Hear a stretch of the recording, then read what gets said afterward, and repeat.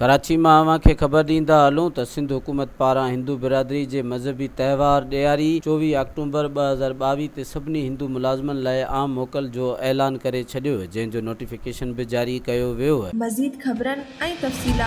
visit कयो असांजी website www.awaminews.hd.com ऐं ॾिसंदा